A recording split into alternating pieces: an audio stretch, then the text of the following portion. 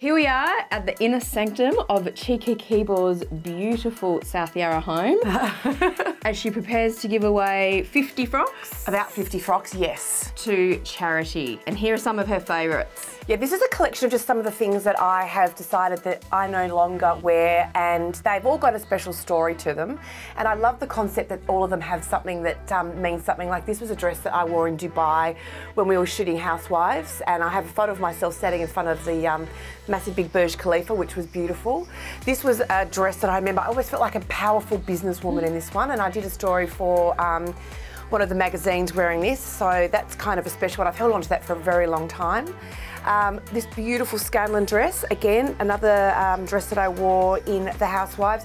And I love it, the colour's beautiful, but I just feel like for me, it's time for a change, time for a move on.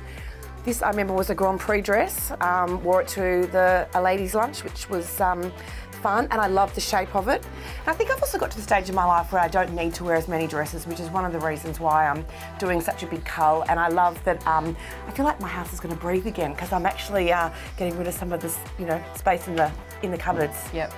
And tell us about this wonderful number, which is one of your faves. This is one of my faves. This dress actually is what I wore for the opening of first season of Housewives. And um, it holds a really special spot in my heart because none of us knew what was going to happen. None of us knew where the show was going. And I remember wearing that dress thinking, I feel good in this and this is an exciting period of my life. So this is a very special dress. So um, I hope it goes to a good home.